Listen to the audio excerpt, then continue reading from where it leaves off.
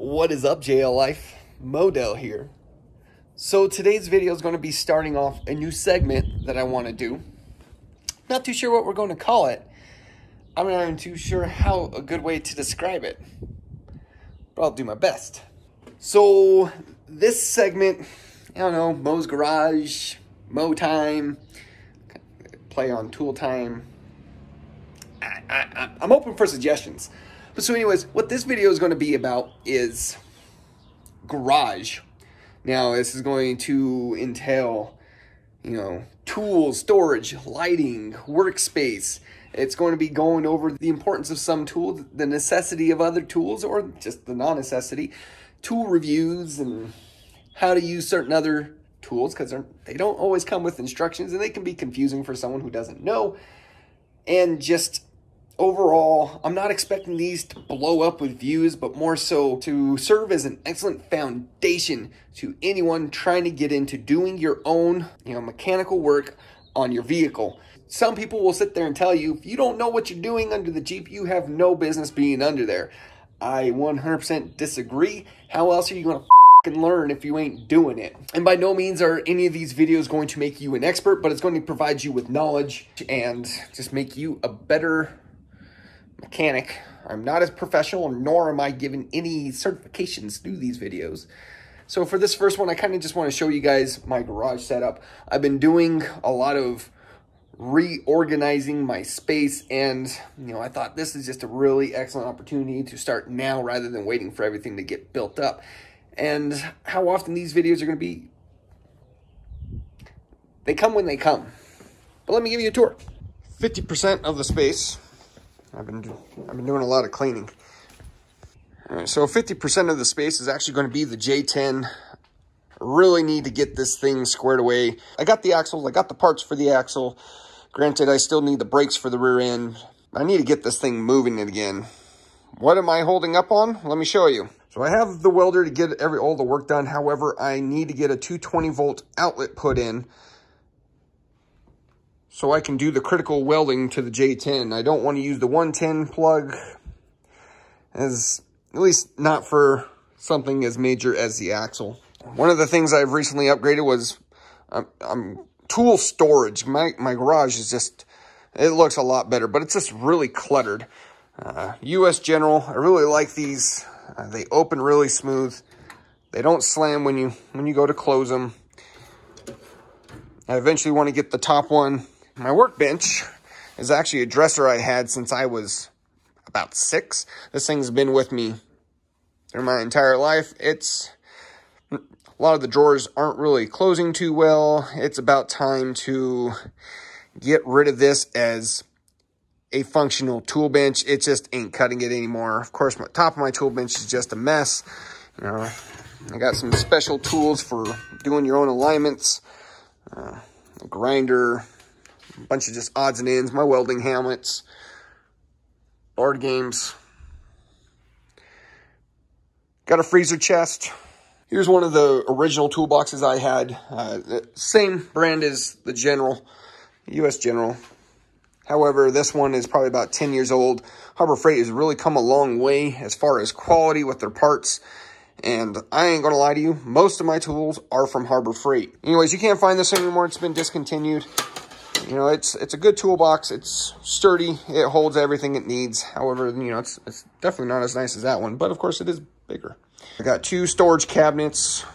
Uh, one is kids non-perishable lunch foods. This one over here, I do use for my my cans, my oil, and beer, candy, sodas, Back that way is this shelving. That's just full of a lot of specialty tools, arts and crafts stuff since before the Jeeps, and it's that needs to be cleaned up. Underneath the J10 is also storage. That's there to catch oil when it was leaking oil. I got my Dana 60 behind that. What I want to get swapped out today is this guy. This is an eyesore. It's falling apart. I got a bunch of junk in there I don't even use, so we're going to be working on getting that replaced today.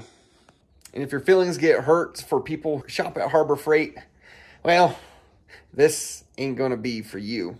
Now, I'm not saying Harbor Freight is perfect for everything, but for the home hobbyist, it's an excellent place to start and it can save you an absolute ton of money.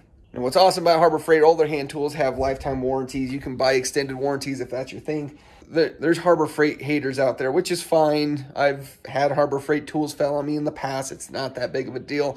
But if you want to have yourself, you know, a complete hobbyist shop, you know, it's it's either shopping budget friendly items, Harbor Freight, then they seem to be trying to push past that. Or you're going to be paying out the nose for better better quality Gucci brands like Snap-on, Matco, all those ones. But one of the things I always look forward to and I keep in my garage when every new one comes in the month is the Harbor Freight coupon catalog. It can save you some decent amount of money. Uh, another thing we're going to be getting today is going to be this guy. A porta bandsaw. I've, I've actually heard really good reviews about this one. We're going to go give it a shot. And I'm sorry, I forgot to talk about one more thing. You got to have good lighting in a garage. You know, I got a bunch of these fluorescent hanging lights. Uh, here's another one. Granted, I really need to do a better job with the wire running. I, I yeah, they're just really sloppy. But I kind of have them daisy chained together. So because I have limited space along this wall, should probably measure that.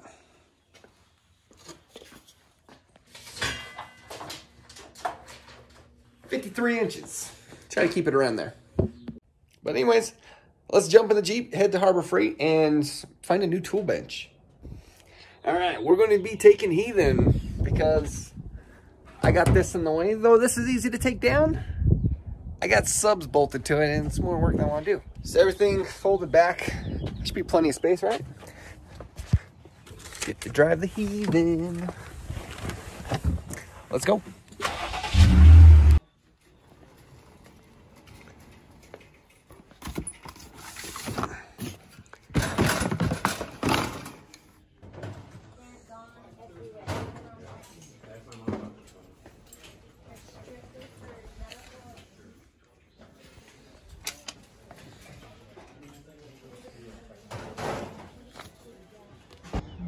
Problem solving.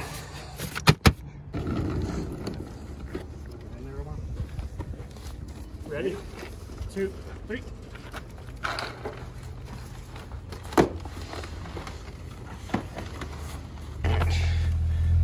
coupons being held down by the porta bandsaw.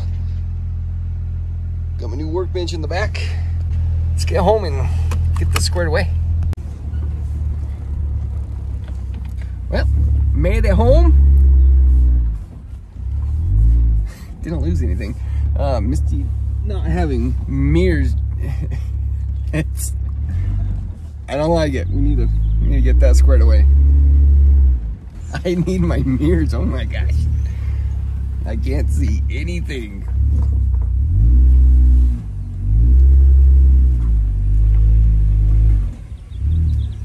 Is the other side in? I have no idea. I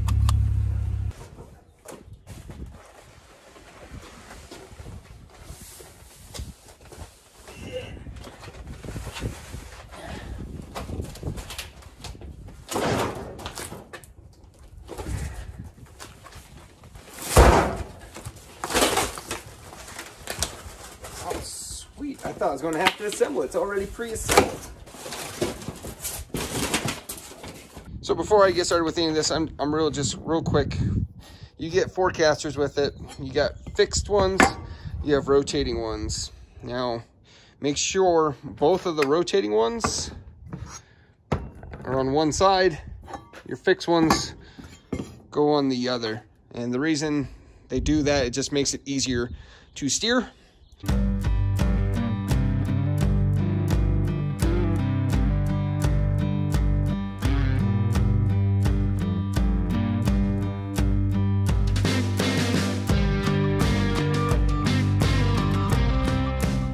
All done with this guy. Uh, there, the other one had drawers for everything. It cost like 60 bucks more. wasn't really feeling it. Of course, a bigger drawer has a wood woodworking area. The locks, which I'm not really concerned about. But anyways, I'm going to get this moved out of the way. I'm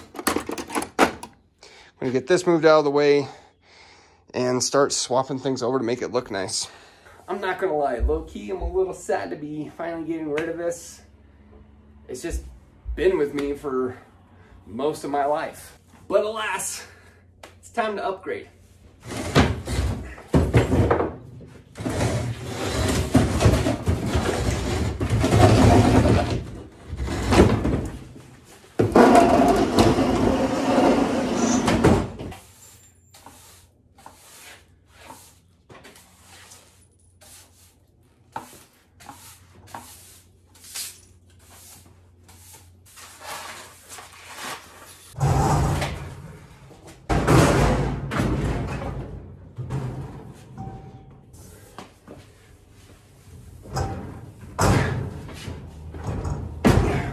As we go through all this, just know I've been working on getting all these tools over the span since I was 18. I just, I've spent a lot of time just collecting, which is why I have a lot of these. As I collected tools, I was never really thinking about storage too much, which is why the garage is just a freaking mess. But just remember, it takes time. And there's a couple other little things I want to show you in the garage before we wrap this video up. One of them is going to be my music setup, and it's difficult listening to music because I record a lot of the stuff I've been doing on YouTube, and of course, YouTube doesn't allow you to use copyrighted music. It makes things hard, but computer, play Tool Radio. The station Tool on Amazon Music.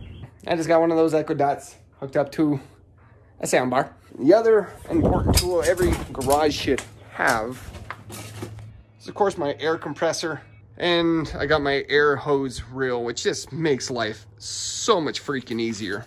One of the things I'm going to need to do is get my vise unhooked. Back when I put this in a long time ago, I just looked for uh, three lag bolts that I had laying around. And I just zipped them in with an impact. Well, that one wasn't the same size and my dumbass didn't pay closer attention. So that's gonna be fun getting out. I think I figured it out. So I'll just rotate the whole vise.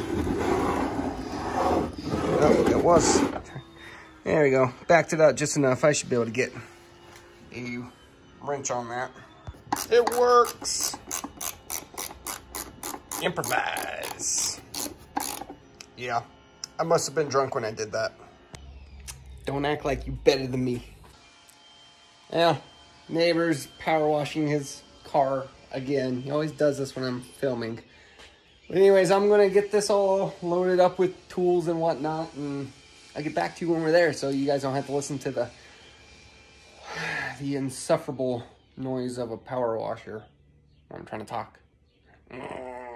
So got that all squared away. Looks good. Nothing too fancy. Granted, I still have a lot of organization I need to do. Just got some odd and ends in the top. And, you know, again, odd and end tools. My specialty tools on this side for vehicles. And of course, you know, what's... The plan is, is to get these all squared away with my automotive section.